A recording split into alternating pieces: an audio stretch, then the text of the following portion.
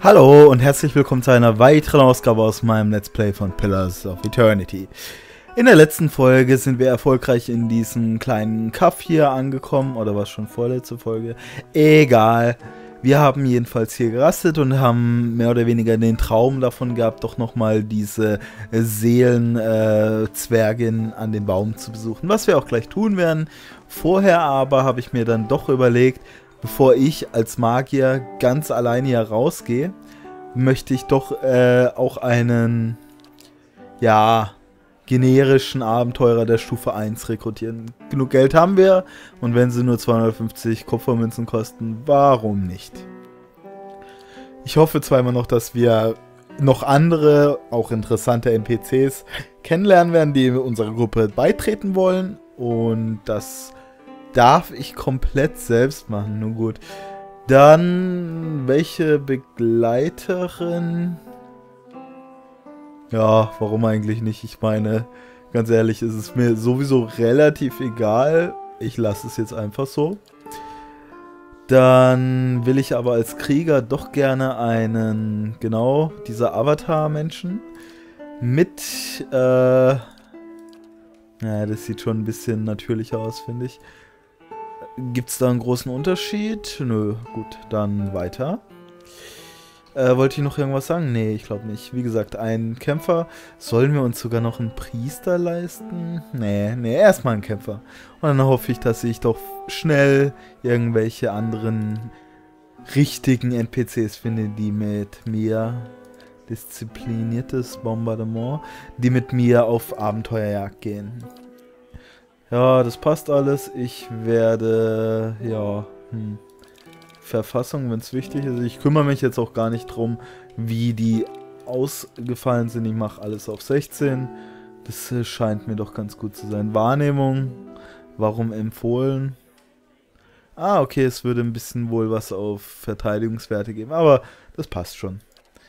Einfach schnell durchklicken. Die Kultur, ich glaube, die Kultur bestimmt eben hier was Kleines, aber hauptsächlich wohl das Equipment, womit man startet. Also schaue ich mich kurz um. Ja, das sieht eigentlich ganz gut aus. Ah, zwei Handwaffe möchte ich nicht haben. Und da musste ich niesen, Entschuldigung. Mm, oh, das sieht, das sieht eigentlich auch ziemlich stark aus. Aber ich habe mich gerade in diesen säbelschwingenden oder die säbelschwingende Kämpferin verliebt. Weiter, ähm, ja, Söldner passt am ehesten, aber Wissen brauche ich eigentlich nicht. Landstreicher, haben wir die einfach von der Straße aufgehoben? Nee. Wissen zwar übrigens auch nicht. Mechanik ja, wäre eigentlich ganz interessant. Ah, Sklave. Mein kleiner Sklave, das passt. mein schwarzer Humor würde mich jetzt dazu zwingen zu sagen, die richtige Hautfarbe hat sie, aber das habt ihr natürlich gar nicht gehört. Ähm, die Haut, kann ich da noch irgendwas Natürlicheres nehmen? Ja, sieht trotzdem ziemlich alienmäßig aus. Hm. Naja, trotzdem finde ich es ein bisschen besser. Ich möchte, wenn ich einen Alien haben will, dann würde ich mir doch einen gottähnlichen holen. Aber für einen Krieger passt es. Ja, ja, schon. Ja, wobei das ist eigentlich dieser, dieser Halbling-Rasse, glaube ich, aber Moment, dann machen wir es so. Wir gehen nochmal zurück, sagen die Haut ist eben grün oder dieses Gelb. Das passt dann auch besser aufs Porträt. Ungefähr. Wie gesagt, ist ja nur hoffentlich kurzfristig. Und Stimme, Stimme, du bist böse. Weiter. Äh, Lisa. So sieht's ja aus für mich. Und weiter geht's. Auf in den Kampf. Ich hoffe, damit sind wir jetzt besser gerüstet. Ich bin zwar nicht sicher, ob wir vielleicht in dieses Tal reisen sollten mit unserer Erschaffen sie ein Abenteuer, ein tolles Achievement. Ich bin mir nicht sicher, ob wir jetzt gleich in dieses Tal von Frohen gehen sollen und diese Kobolde ausrotten, aber ich denke, wir bleiben erstmal in der Story und gehen eben diese Zwergin am Baum hängend ein bisschen besuchen und gucken, was da passiert. Aha, da will Ah, ich wette, das ist unser erster NPC. Du siehst vier Personen, die sich bei der Tür zur Schenke versammelt haben. Ihre erregten Stimmen und hackenden Gesten lassen darauf schließen, dass ein Streit kurz äh, vor seinem Höhepunkt steht. Die erste Gestalt erhebt ihre Hände, um die Situation zu beruhigen. Sein Gesicht wird teilweise von einer Kapuze verborgen, aber Größe und Körperbau lassen auf einen Elfen schließen. Ich wollte niemanden beleidigen. Lasst uns diese Angelegenheit doch bei einer Runde Met beilegen. Geht auf mich. Wütende Einwohnerin sagt aber, beziehungsweise die anderen Gestalten, Männer aus dem Volk und eine Elfe, sehen nicht gerade überzeugt aus. Die Frau verschenkt ihre Arme und sagt, Aha, willst du unseren Stolz wohl mit ein paar ädyrischen Kupferstücken beschwichtigen? Sie spuckt auf die Füße. Wir brauchen dein Geld nicht. Ähm, jetzt beruhigt euch alle mal. Egal um was es hier geht, es ist bestimmt nicht so schlimm. Oder, oh, ein Kampf. Das fand ich auch schön. Einer der anderen Männer starrt den Elfen mit der Kapuze an. Seine Augen sind rot vom Alkohol, aber sein Blick ist fixiert. Wir sind einfache Leute, aber dumm sind wir nicht. Das scheint er aber anders zu sehen, da er uns verspottet, während er in unserem Dorf wohnt. So lassen wir uns von den Ausländern nicht anreden und von Edirianern schon gar nicht. Der zweite Mann stößt sein Kinn in Richtung des Elfs. Er stinkt nach saurem Mehl. Na, mach schon, sag es nochmal. Ich kann deine Entschuldigung kaum noch erwarten. Jesus. Äh, warte, jetzt habe ich seine Stimme vergessen. Ähm, Jesus, kannst du wohl niemand da Wort... Was? Kannst es wohl nimmer da worten, dass die Schwester schnackselt, oi, der Schlappschwanz. mein Gott. Sag bloß, sie bringen die furchtbaren Dialekte aus äh, Baldur's Gate wieder zurück. Den drei Einheimischen entfährt ein äh, gemeinsamer Wutschrei. Der zweite Mann knurrt wütend. Ich, ich werde dir deine Säuferzunge aus dem Maul schneiden. Entsetzen und Angst machen sich schnell auf dem Gesichten, Gesichts des Elfen breit. Das ist ein Missverständnis. Ich sagte gar nicht.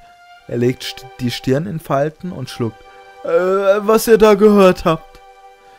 Er stellt sich fest hin, in seinen Augen flackert etwas Mürrisches und Rohes auf. Wir, wir, wir haben keinen Grund zum Streiten. Die Elfe zieht eine Klinge. Und genau da irrst du dich. Nee, warte, das war er. Und genau da irrst du dich. Ähm, ja, ich würde schon versuchen, die Situation diplomatisch zu klären und sag, das hier ist unnötig. Wäre es nicht besser, drin zu trinken, als hier draußen zu streiten? Deine Mildtätigkeit wollen wir hier nicht, Ausländer. Immer diese Xenophobie. Sie blinzeln dich durch rote, müde Augen an. Das klingt verdächtig, als ob du ihn verteidigen würdest. Ja, war klar. Gut, dann, die stehen schön dicht beieinander. Das scheint ein Fall für die Arkane-Explosion zu sein. Bam! Das war doch effektiv.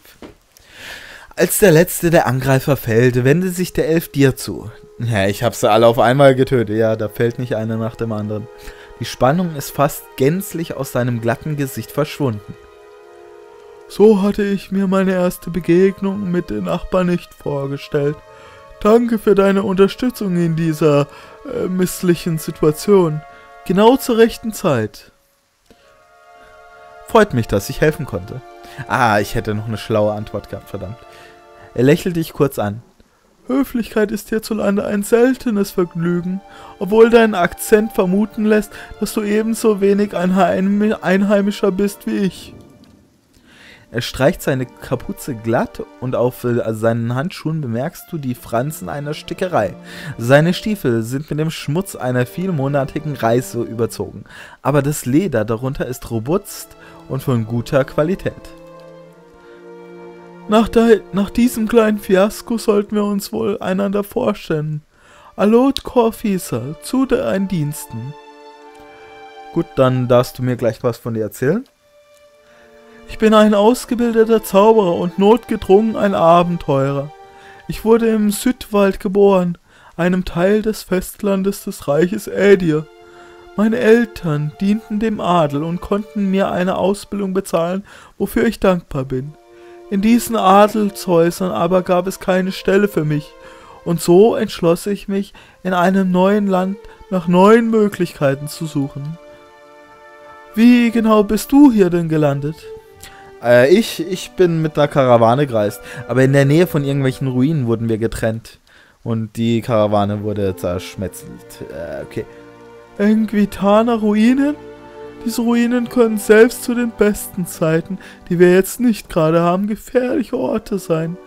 Die Hälfte der Einheimischen würde dich für dein Eindringen verhaften. Die andere Hälfte würde dich auf der Stelle niedermachen. Er beugt sich etwas näher ran. Jetzt bin ich neugierig. Was genau hast du dort gefunden? Ähm. Ich soll ja vorsichtig sein, mit äh, wem ich das sag. Also sage ich äh, ein Biwak, was ja auch äh, der Tatsache entspricht. Und du hast überlebt? Ich hörte, dass das unmöglich sei. Er betrachtet dich mit neu gewonnenem Interesse. Anscheinend hast du entweder ein Händchen für den richtigen Augenblick oder du bist ein Günstling der Götter. Und wie hast du es geschafft, diese drei Trunkenbolde zu verärgern? Ich befürchtete, das war ein Fall von Missverständnissen und Fehlübersetzungen.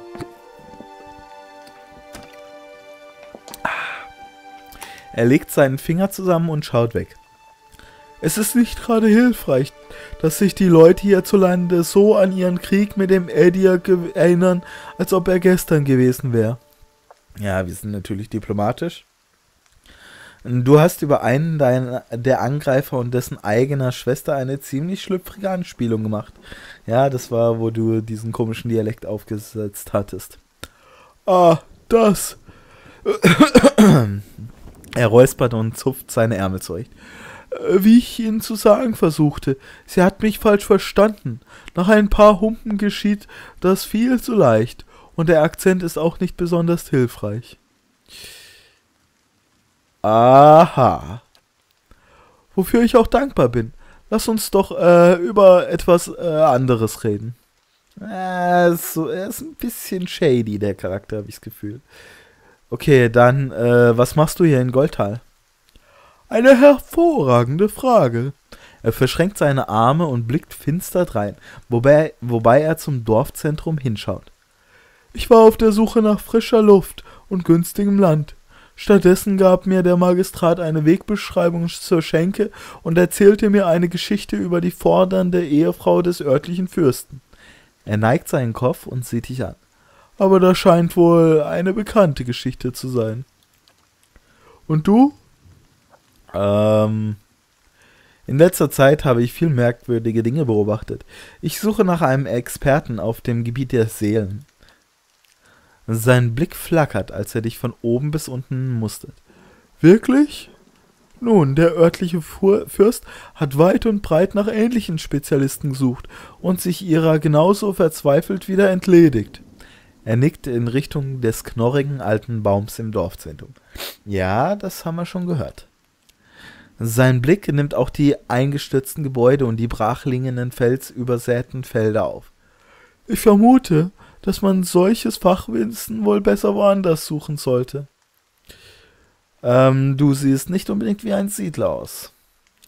Ein schlitzohriges Grinsen spielt über seine Lippen. Bitte entschuldigt, aber du auch nicht. Trotzdem, äh, trotzdem kann einen der Zufall an den merkwürdigsten Orten zusammenführen. Äh, okay, also ich hab meinen Kampf gehabt, ich bin da mal weg. Und dann wird er sagen, nee, aber warte doch auf mich, ich komme mit dir mit. Was wetten wir? Und ich auch. Wenn man die jüngsten Ereignisse berücksichtigt, umso besser. Ich hatte sowieso genug vom wässrigen Wein und den durchgelegten Betten in der Schenke. Er rümpft die Nase. Man sagt sich, selbst der Besitzer der Schenke hatte genug. Eines Tages ging er einfach fort. Das spricht Bände über die Instandhaltung. Er blickt dich vorsichtig optimistisch an. Vielleicht könnte ich mich dir anschließen. Ich könnte einen Ortswechsel gut vertragen. Ich reise sowieso nicht gerne allein. Gut, ich auch nicht. Dann lass uns gehen. Hervorragend. Ich werde dir folgen. Gut, äh, jetzt äh, finde ich es ein bisschen blöd, dass wir diesen einen. Na, das wollte ich machen. Dass wir den einen Kompagnon angeheuert haben, aber was soll's. Das Haus ist wohl nicht betretbar. Dann würde ich sagen, gehen wir zu der. Zu dem Baum. Das war aber nicht der, der war irgendwo hier hinten. Ah, ich muss vielleicht auch meinen Zoom ein bisschen schneller machen. Wir laufen erstmal hier hin und suchen weiter. Ah, da, da haben wir ihn doch. Da gehen wir wohl dann lieber hier außen rum. Ja, zwei Buchträger und einer mit einem Schild. Das sieht doch schon mal ganz gut aus. Irgendein Bekannter. Eder ist noch unbekannt. Den äh, Urgrad haben wir da vorne schon geredet. Ah, und da ist die Frau. Gut, dann erstmal mit Edda reden. Wirst du auch deinen Kopf äh, verlieren wie Edda Stark? Wir werden sehen. Hast du in diesem Baum nach jemandem gesucht? Ich könnte euch einander vorstellen. Äh, ich suche nach irgendjemand, mit dem ich mich besser fühlen kann. Das klingt irgendwie zweideutig. Ähm, komisch, so über die eigenen Toten zu sprechen. Er schaut den Baum hoch und atmet aus. Sieht so aus, als ob die Hälfte des Dorfes jetzt da oben baumeln würde. Gibt wohl kaum Worte, um das Gebören zu beschreiben. Ähm. Ja gut, dann sagen wir das mal. Ich will wissen, was passiert. Er nickt dir verständnisvoll zu, während er einen langen Zug aus seiner Pfeife nimmt. Äh, ich habe übrigens gesagt, ich suche nach jemandem, mit dem ich mich besser fühlen kann. Eben das, was ich vorhin als zweideutig klassifiziert habe. Mein Beileid. Er atmet aus, richtet seine Aufmerksamkeit auf etwas anderes und beobachtet das Dorf um sich herum. Okay, er schließt sich also uns nicht an. Den Baum zwischen den Wurzeln verstreut liegen Armbänder aus Zwirn und Glasperlen, verwelkte Blumen und Regen, teils verwaschene Notizen herum. Und vom Regen, ja, ja. Und was kann ich jetzt mit er, ihr machen? Caldera de Berasani. Der gedrungene, aufgeblähte Körper einer alten Zwergin baumelt von einem krummen Ast, der sich durch den Zug ihres Galgenstricks durchbiegt. Das aufgedunsene Fleisch ihres Halses, das stellenweise wie mottenzerfressene Leinen aussieht, stülpt sich über das Seil, an dem sie hängt, und ihr lebloser, nach vorn gebeugter Kopf rollt beim Wechsel der Prise steif von einer Seite zur anderen. Du nimmst um sie herum ein schwaches Leuchten wahr, das aber keine Schatten auf seine Umgebung wirft, sich aber lauwarm anfühlt. Du glaubst nach ihm greifen und es berühren zu können, aber nicht mit deinen Händen, sondern mit einem Aspekt deines Selbst, das keine weltliche Dimension hat. Oh, hoffentlich kriegen wir jetzt die Erklärung, warum wir diese Seelen in der letzten Folge erkunden konnten. Dann werde ich mal nach der Frau greifen. Ja, das sieht nach einer Seelenerkundung aus. Schauen wir uns das mal an. Der Effekt ist ja echt ganz schick gemacht, muss ich sagen. Ähm, klare, Geda klare Gedanken fassend und dich auf dein Ziel konzentrieren, holst du Tiefluft. Als du ausatmest, merkst du, wie dich äh, nach der hängenden Frau ausstreckst. Du nimmst alles, was zwischen dir und ihr liegt, mit neuem, ungewohnten Bewusstsein wahr. Nachdem du dich weit genug gestreckt hast, um sie zu berühren, gibt es in deinem Verstand einen plötzlichen Ruck, ein klingendes, elektrisches Aufbranden von Bildern, Worten und Geräuschen. Du schließt unwillkürlich deine Augen und spürst, wie du an einem Ort, der nur von dir und der hängenden Frau eingenommen wird, in eine Art tieferes Bewusstsein hineingezogen wirst. Als du deine Augen wieder öffnest, starrt sie dich mit milchigen Augen an, wobei ihr Körper noch immer im Wind schaukelt, den du nicht mehr spürst und, einem und an einem Baum hängt, der nun in einer nebeligen Leere steht. Also ungefähr wahrscheinlich das, was ich jetzt hier sehe.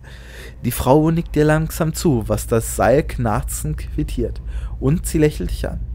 Creepy. Bist du wegen mir herangekommen, Schätzchen? Oder hast du dich verlaufen? Sie kneift ihre Augen zu, als sie zu dir hinabspäht. Ah, ich glaube beides, ja? Ähm. Also ich glaube nicht, dass ich es mir einbilde, deswegen gehe ich auch mal Äh, wie kannst du noch mit mir sprechen? Du bist doch tot und vorhin von Maden zerfressen. Wobei kommen Maden überhaupt so hoch? Naja, egal. Kaldara bewegt ihre Zunge so im Mund herum, als ob sie ihn überprüfen würde. Ist es das, was wir tun? Vielleicht scheint es nur so zu sein. Vielleicht ist es der einfachste Weg für deinen Verstand, es zu verstehen. Sie lächelt dich mütterlich an. Ich glaube, es ist eine äußerst gute Wahl. Äh, ich muss verstehen, was mit mir geschehen ist. Sie nickt mit mitleidigem Blick, so als ob sie ein Kind trösten würde. Du meinst, dass die Welt ein bisschen anders aussieht als sonst? Fühlt sich das so an, als würdest du Dinge, die schon immer da gewesen sind, zum ersten Mal bemerken? Sie nickt. Du hast hinter den Schleier gesehen. Es dauert nur einen Augenblick, deine Seele. Also, es dauert nur einen Augenblick. Deine Seele erinnert sich daran, richtig? Sie erinnert sich, wie sie zu miterlebt, wie sie es miterlebt, wenn sie den Körper verlässt. So, als ob du dich in einem Traum erinnern würdest, den du schon lange vergessen hattest. Sie nickt erneut. Jetzt bist du ein Wächter. Ein Wächter wirst du auch bleiben. Äh, hoffentlich kein grauer Wächter. Äh, was ist denn ein Wächter? Ja, in der Tat, in der Tat. Was ist das? Mit dem Studium solcher Dinge haben wir viele Beseeler lange Stunden verbracht. Ich aber nicht. Ich nicht. Ich werde dir also alles sagen, was ich weiß. Das ist nur gerecht. Und hier sind wir, beide also auf Besuch. Und es erinnert mich an bessere Zeiten. Seelen werden weitergegeben Manche sagen, dass durch Adrasteine geschieht, was, dass das durch Adrasteine geschieht, den Adern der Welt. Die Seelen verlassen die Welt für eine Weile und werden dann in sie wiedergeboren. Manchmal mehr als zuvor, normalerweise aber weniger und selten dieselben. Bei allen Seelen gibt es eine Zeit, in der sie nicht mehr leben, aber noch auch noch nicht weitergeben war. Ja, furchtbar. Nochmal von vorn. Bei allen Seelen gibt es eine Zeit, in der sie nicht mehr leben, aber auch noch nicht weitergegeben wurden. Und diese Seelen streifen wie du und ich über die Welt, entweder im Aufbruch oder verloren. Niemand aber kann sie sehen, weil sie vergessen haben, wie das geht. Und das können wohl nur die Beseeler oder die Wächter.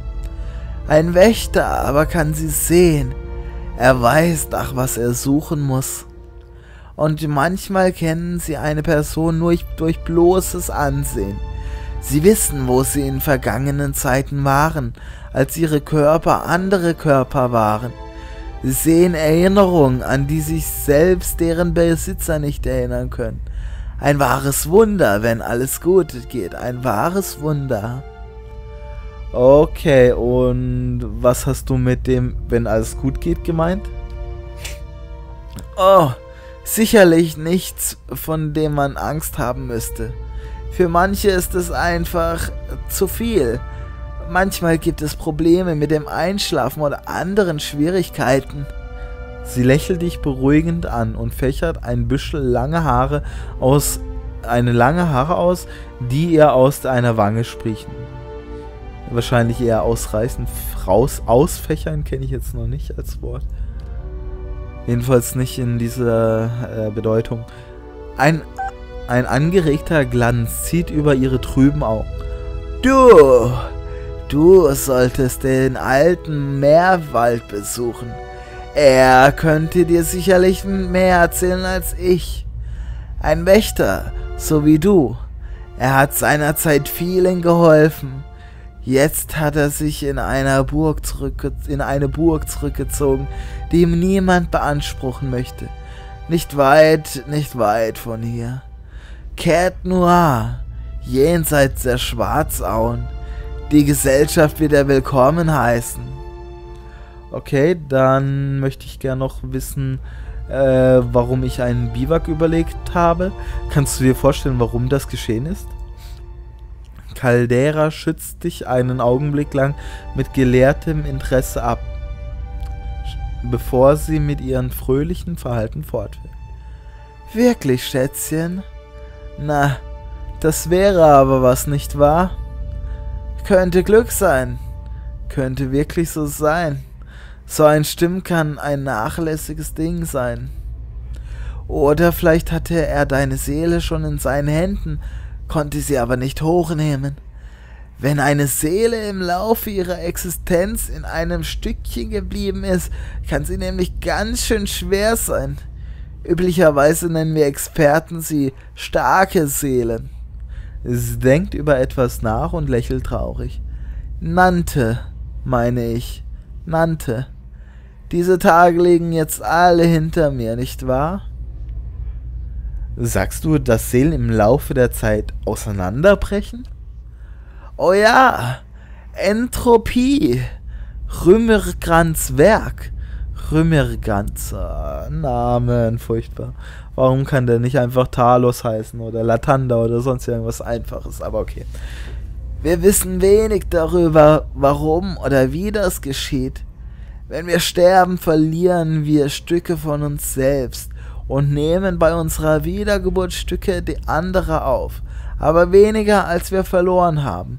Wir versuchten, es mit Hilfe der Beseelung aufzuhalten, aber wir hatten damit kaum Erfolg. Oh nein.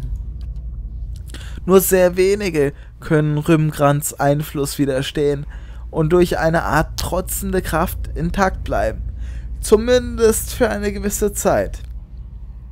Letzten Endes aber kann keine von ihnen ewig standhalten. Glaube ich. Nee. Sie schnalzt ihre Zunge. Ich habe jetzt sie schmalzt ihre Zunge gelesen und wusste nicht so richtig, was ich da machen soll. Ähm, okay, dann. Ich würde gerne noch ein bisschen mehr über dich erfahren. Mich? Sie schüttelt protestierend den Kopf. Ich werde dich aber zu Tode langweilen. Hm, ich hoffe, ich hoffe, dass ich euch nicht langweile. Jetzt klingelt's gerade. Ich muss mal kurz ans Telefon. So, hier bin ich wieder. Dann würde ich sagen, machen wir dieses Gespräch noch fertig und dann dürfte die halbe Stunde auch vorbei sein. Äh, ich bin jetzt nicht sicher, wie lange ich noch Zeit habe. Dann, naja, was ist ein Beseeler? Das ist wohl die wichtigste Frage, damit ich euch jetzt auch nicht zu sehr langweile. Ein Student der Seele. Etwas so Grundlegendes, das trotzdem so wenig verstanden wird. Aber während meines Lebens sind so viele Durchbrüche erzielt worden. Sie, sie kichert. Oder so ähnlich. Wurden, meine ich. Wurden. Wenn man, die wenn man die Einheimischen fragt, sind wir nur eine Bande von Seelenjägern, die es auf die geistig Schwachen abgesehen haben. Und auf die Schlimmsten von uns trifft das auch zu. Aber unsere Besten, ja, die Besten, Erleuchtete, Wunderwirker, meine Eltern waren Seelenzwillinge, und bis sie sich trafen, ging es ihnen jämmerlich. Sie waren innerlich leer, erst ein Beseeler half ihnen zueinander zu finden. Er hat ihnen ihr Leben ihr Leben zum Besseren gewendet. Du würdest die Geschichten kaum glauben. Amnesiacs halfen dabei, sich an ihre Leben zu erinnern, brachten die Selbstmordgefährdeten zurück vom Rande der Vergessenheit. Die Älteren nahmen sich extra Zeit für ihren Abschied. Oh, wie schnell wir vergessen, wenn wir Angst haben. Es ist eine faszinierende Wissenschaft. Ist das nicht eine faszinierende Zeit, um im Trübwald zu leben, einem Ort, an dem die Forschung nicht kontrolliert wird? Ich liebe die Vailianischen Republiken aus vielerlei Gründen, aber ich fürchte, ihre Übervorsichtigkeit in letzter Zeit wird sie ins Hintertreffen geraten lassen. Okay, äh, was ist mit Ihnen passiert? Meinst du die Frau? Sie lacht. Zwischen ihren buttergelben Zahnreihen hindurch entkommt ihr ein kratzendes, ersticktes Gegacker, das ihren Kopf mit jedem Lachkrampf hoch und runter hüpfen lässt. Als sie deine ausdruckslose Miene bemerkt, äh, fängt sie sich wieder. Ach, jetzt komm aber. Was für eine Frage! Als ob die Antwort darauf nicht so einfach wäre, wie zum Galgenstrick gebundenes Seil wäre. Äh, die Metapher kann ich jetzt nicht ganz entschlüsseln. Lass einer deiner alten, lass eine alten Zwergen doch ihre letzte Hochstimmung. Nun, ich ging dorthin, wo ich gebraucht wurde, nicht wahr? Meine Dienste bot ich Fürst Räderik für einen Hungerlohn an. Einen bescheidenen Hungerlohn. Auch noch einen bescheidenen, okay. Meine Aufgabe war die Untersuchung der Fürstin. Ich sollte herausfinden, warum die Götter für es für passend befunden hatten, ihren Leib zu vergiften. Oh, monatelang studierte ich sie. Ich suchte mich dumm und dämlich nach Unreinheiten. Ich prüfte ihre Valenz und die Durchlässigkeit ihrer Essenz. Und weißt du, was ich fand? Sie schüttelt den Kopf. Nichts fand ich. Gar nichts. Eine von Kopf bis Fuß gesunde Frau, die mit einer schönen Seele gesegnet war. Noch dazu war sie so eine reizende Frau. Demütig, aber warmherzig. Äh, für mich irgendwie beides positive Eigenschaften, da hat es aber nichts zu suchen. Nach ein paar Monaten aber verlangte der Fürst des Hauses Antworten. Anfangs erzählte ich ihm noch, was er hören wollte. Oh ja, mein Fürst, sie ist voller Missverhältnisse. Ich brauche Zeit, um sie zu heilen. Als die Geburt nahte, wurde er immer ungeduldiger, wie es bei den Fürsten eben so ist. Und schließlich bin ich hier gelandet. Okay, äh, wer bist du? Die, wir haben jetzt, denke ich, genug davon erfahren. Die Frage spare ich mir jetzt mal. Äh, dann noch ein letztes. Bilde ich mir das alles ein? Sie überlegt, sie überlegt einen Moment lang und schaut an ihrem eigenen schlaffen Körper hinab. Nein, ich, ich glaube nicht. Ihre Zunge schnalzt und sie schüttelt den Kopf. Ach, wie schade. Wäre es doch einfach gewesen, gar eine Gnade, sich keine Fragen mehr stellen zu müssen. Doch leider sind wir hier, du und ich wobei sich die Frage stellt, wo hier sein könnte. Okay, das war erstmal genug. Leb wohl. Auf Wiedersehen, Schätzchen. Das war ein schöner Besuch. Kaldara schließt ihre Augen, worauf ihr Kopf nach vorne über den Galgenstrick sinkt, und deine Umgebung scheint sich von einem unbekannten Wa Warteort wieder in deine Wahrnehmung einzublenden. Alot, sieh dich mit zusammengekniffenen Augen an. Bist du in Ordnung? Gerade noch schienst du verloren zu sein. Ich bin ein Wächter. Nein, äh, ja, ja, es geht mir gut. Er verschränkt die Arme. Das ist gut zu wissen, aber du wirst mir wohl nicht erklären, um was es bei all dem überhaupt ging, oder? Ja, jetzt muss ich also. Ich bin ein Wächter. Seine hochgezogenen Augenbrauen ziehen sich unter seine Kapuze zurück. Nun gut, das ist interessant. Er grinst dich schlitzohrig an. Und das soll vermutlich erklären, wie du einen Biwak überlebt hast, was? Auf jeden Fall weiß ich deine Aufrichtigkeit zu schätzen. Da wir zusammenreisen, ist es wahrscheinlich weise, dass wir diese Dinge miteinander teilen. Äh, weißt du etwas über die Wächter? Nur, dass es nur wenige gibt und dass es sie einzig und dass sie einzigartige Einsichten in bestimmte Seelenzustände haben. so wie du es gerade unter Beweis gestellt hast. Nun gut, dann gehen wir mal weiter. Gut, ähm, ich gucke auf die Uhr.